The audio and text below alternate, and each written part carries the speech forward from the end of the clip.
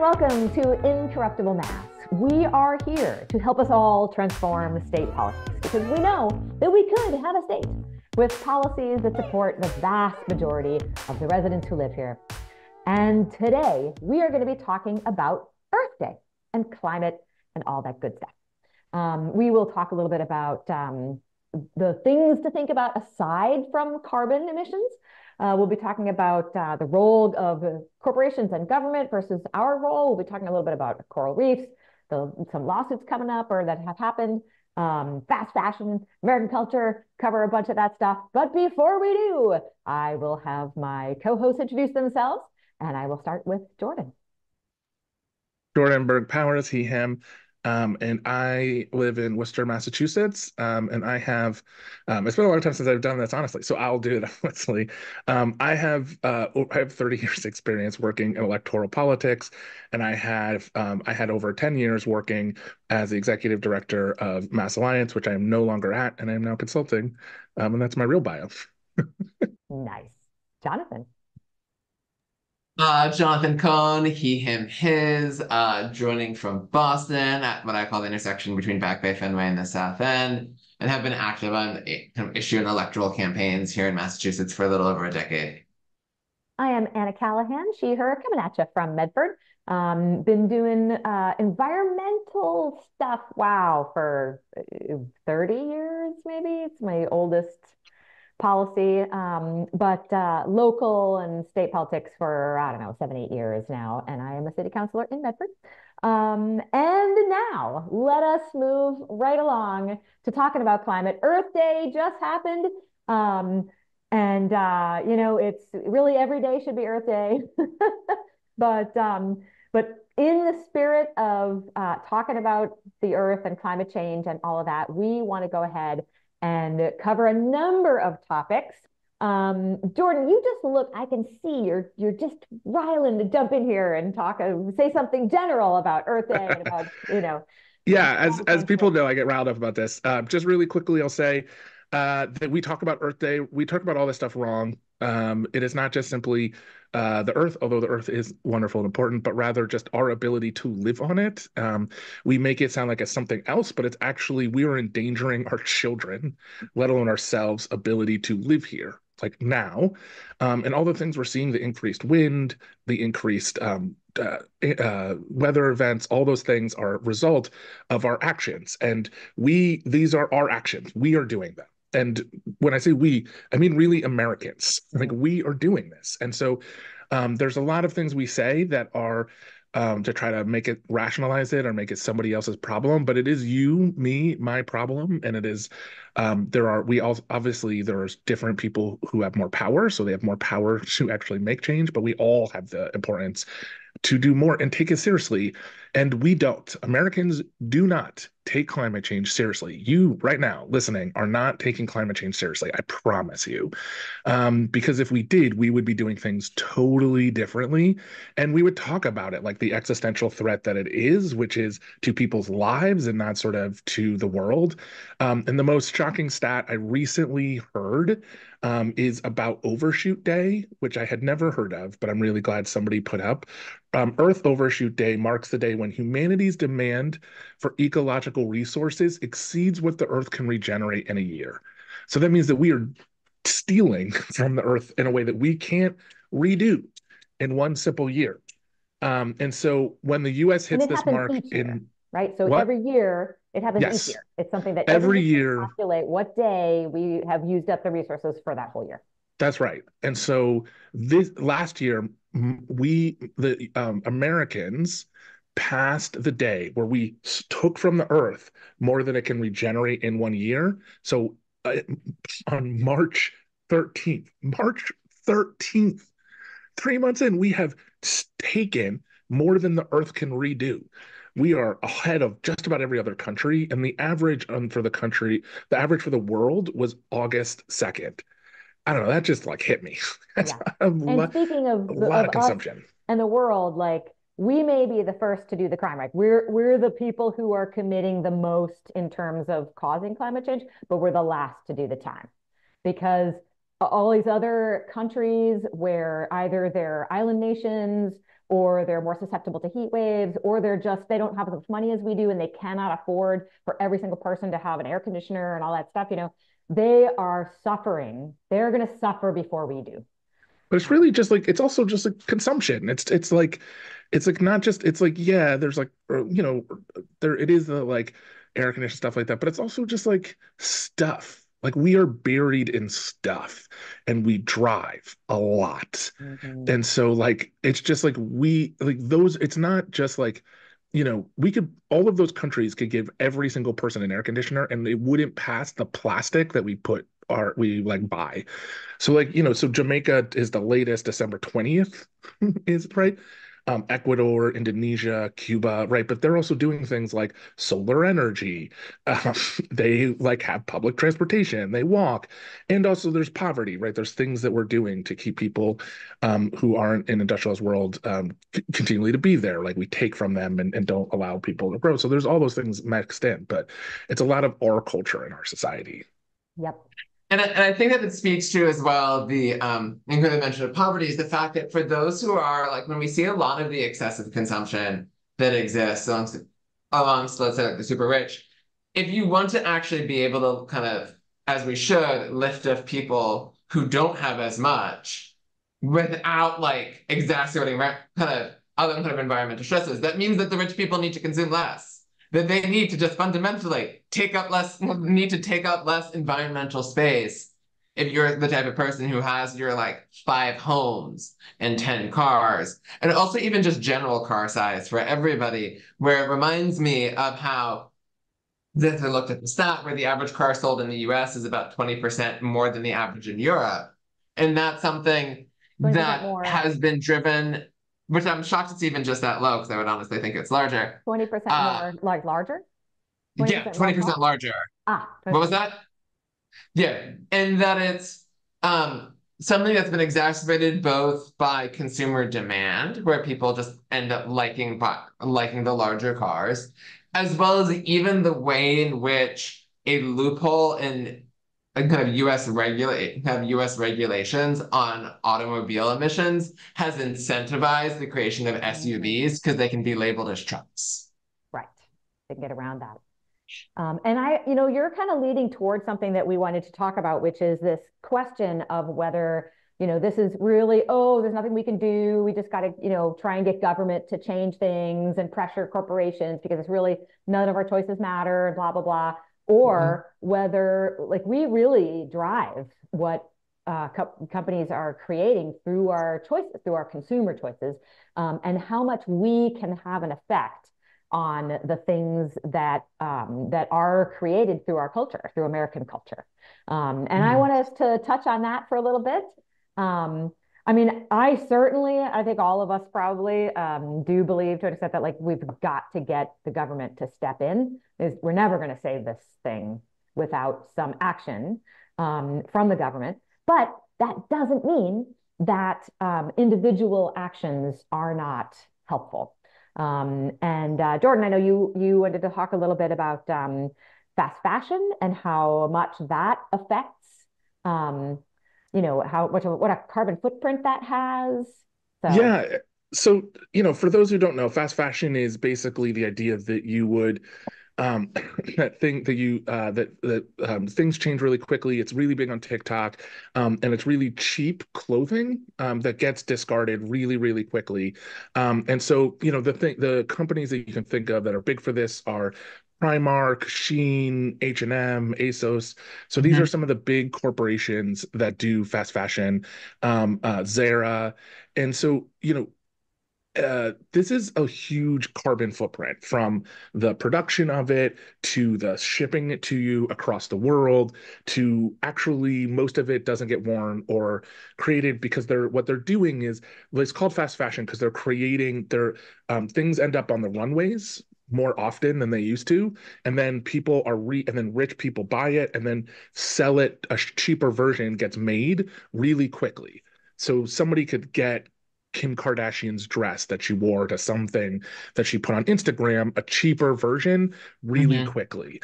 Or um, a trend on TikTok, something gets big on TikTok, and then um, and then people be like, "I want to buy it," but they don't want to pay they want to buy a cheaper version so they buy the cheapest version possible um, and then they and then they go through it. And so this is real um, really big impacts just to just to quantify it. Um, so 60% so people have just between 2000 and 2014 so just not a lot of time right? Um six, people bought 16% more garments and wore them half as long. Mm-hmm. and in 2000 that was already a problem it was already a problem in 2000 right? So we're we're just fast tracking the idea that you wear something a few times and then you toss it wear something a few times and toss it. Um, that culture around it that sort of h&m culture is it has a huge carbon footprint as well as just being completely evil. Like it's also slave labor. Right. Yeah. Um, mm-hmm. you know like you know we we often think about the human carnage we see on TV as far away, but our actions are causing a daily grind of human carnage um, that is invisible to mm-hmm. us, but is real nonetheless. And fast mm-hmm. fashion is a huge part of it. Um, so just doing so, just like um, you know, the textile contributions to climate change um, is more than the aviation and shipping combined. Wow. So fast fashion contributes more to climate change than all the flights and all of the shipping. That's how much it's out of control. And it's just so much consumption. It is so much consumption. Um, and so that's a, just a, it's like, again, it's a, it's a, it's in a cultural problem, right? Yeah. It's not and, a. And I will, mm-hmm. I will mm-hmm. mention for folks that, you know, we want to give people some tools here every day. Um, folks, you can buy some amazing clothing for like one tenth the price if you're willing to go to Goodwill, Salvation Army, mm-hmm. and places. Savers. A, I am good at Savers. Yeah, I'm going to advertise right now for a place that I uh, was a member of last year. It's called Swap It in Medford. Um, mm-hmm. And you pay a membership fee, and then every you just bring clothes clothes in, and you take clothes, and you never charge anything. You can come every single week bring a couple clothes, take a few clothes. It is amazing, and it's really a wonderful. Community. There's a there's a good swap um, here in Worcester that does the same for women. Um, my my uh, my wife Kara, she only buys used clothing for that reason. She buys one piece of new clothing every year, but like that's it. So I just think yes, like thrift, please make thrifting cool. like that's the best thing. So you, you want to hit climate, like make thrifting amazing cool. way to save money. You know, with all this inflation and everything, it's so fantastic on the pocketbook. Um, yeah. And the, the dynamic that we were talking about as well as the dynamic of how we both need individual actions and we need upstream actions. Me of an example I had noted before about bottled water is that like we know fundamentally that like plastic is bad for the environment. Uh, bottled water create that creates a lot of plastic waste. Plastic isn't great for recycling to begin with, even if you do recycle it, because there's no market for recycled plastic uh, in the way that there's a market for recycled cardboard or recycled aluminum. And yeah, I want to touch like, on that for one second before you go on because people yeah. think that plastic is recycled. And I think the statistic is that only 9% of plastics are ever recycled each year. Yeah. And it and, is so and, it, and like black plastic, for example, never recycled. Even I think it's also something on there.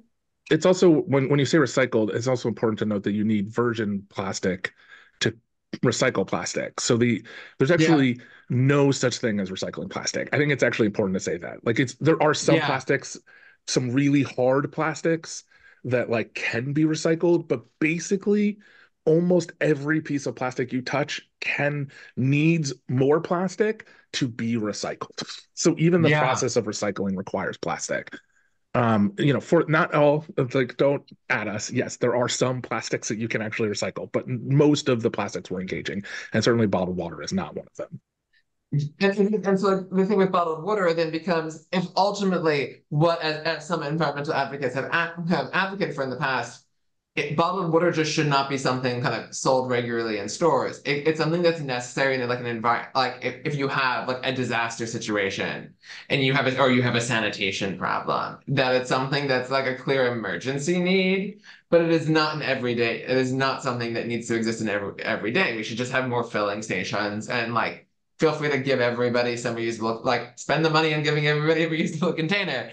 Uh, uh that, however, that like we both need people to stop buying bottled water to actually kind of bring down that market share and we need to regulate it. And if we're never going to get regulations on the availability of bottled water if we don't change people's mindset into viewing it as something that they should that they expect to see everywhere. Well, because that they you that that you won't have the demand for a le- for a legislative change or a, or a store policy change and you will instead help basically anybody who's trying to fight that change by making people feel like that they're losing something by it not being taken away And I, I want to jump in and talk about um, microplastics, which, you know, Mhm. more and more studies are coming out saying that microplastics are in newborn babies.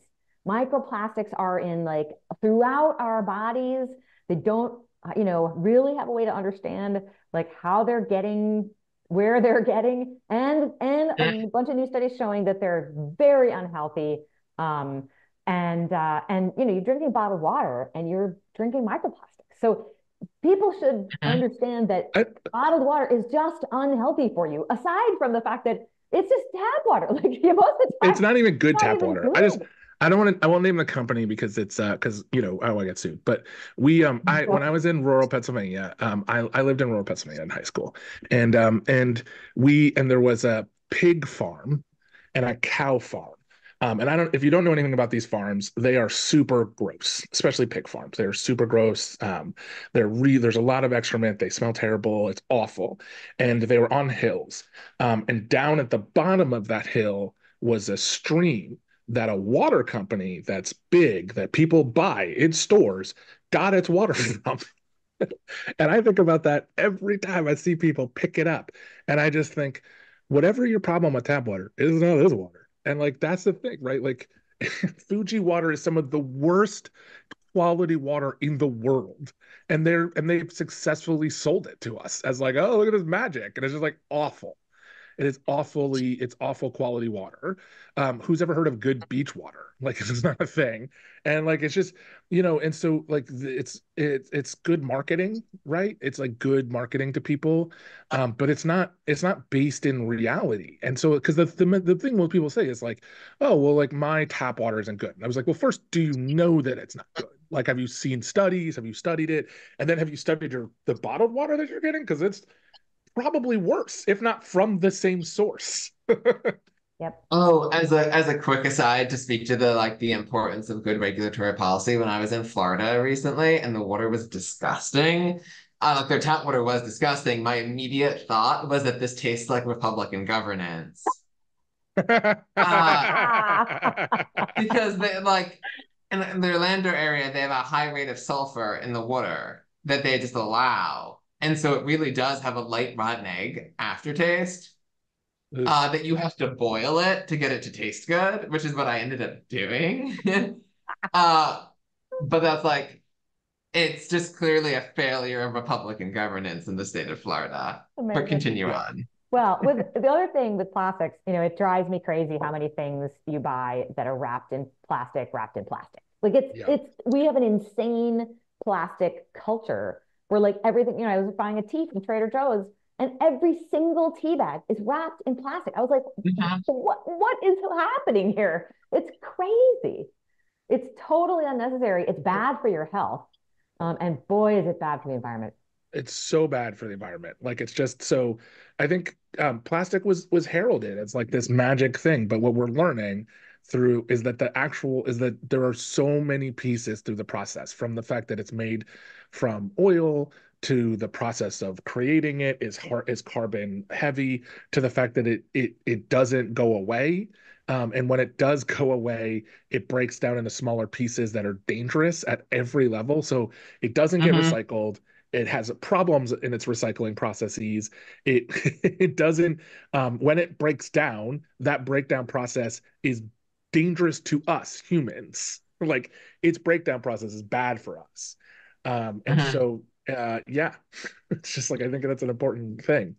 I'm and it's in pause- everything. It's in like plastic they put um you know like your receipts now have plastic. Your um like they just the plastic is added to so many things that does not need to be added to.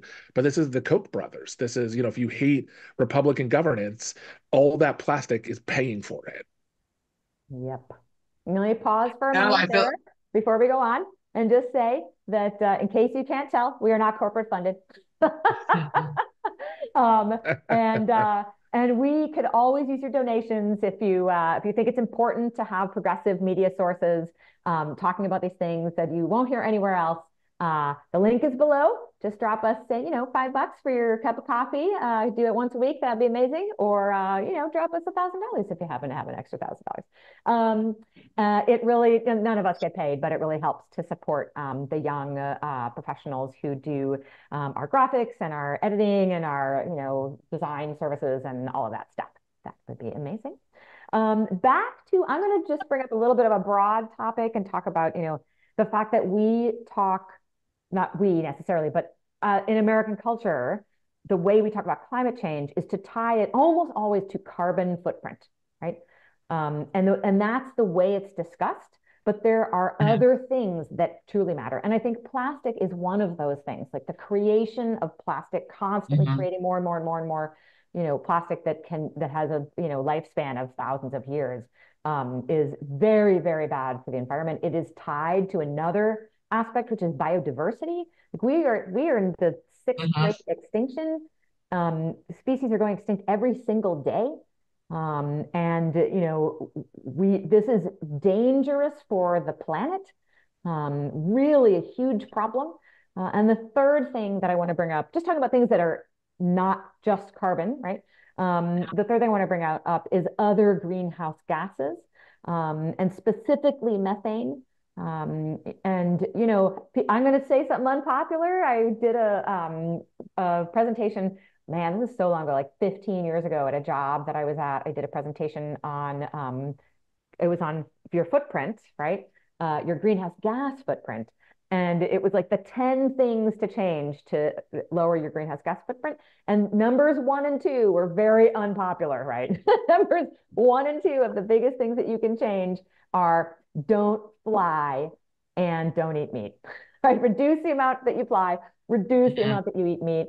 Um, meat tied very much to um, to methane uh, greenhouse gas, which is like I don't know between 50 and 80 times more powerful than uh, than carbon dioxide in terms of its greenhouse gas ability to raise the temperature of the earth.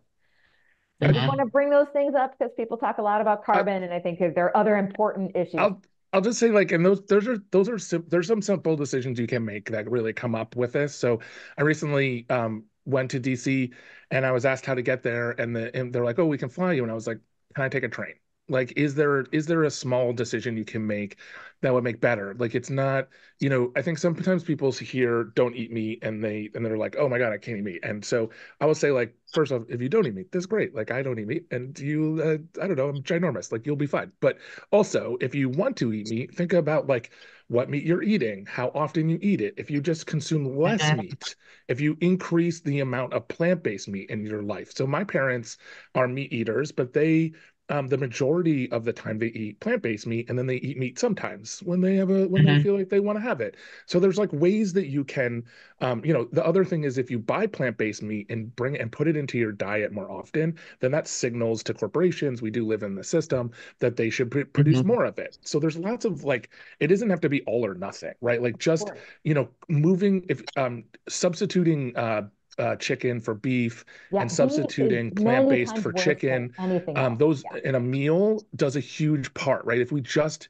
if you just eat less cows if you interact with cows less mm-hmm. you will dramatically decrease um, you know, just like that alone, that decision alone will dramatically decrease your carbon footprint. Like and and, mm-hmm. and signal again to the to the um to uh to corporations that this is out of control.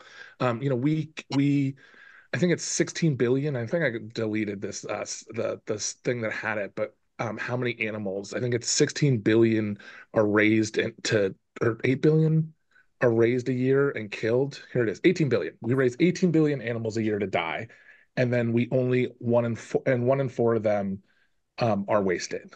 So like there's just there's just like you could be making you don't need to make an all or nothing decision. You could be making some simple decisions to move in the direction. Again, these all matter.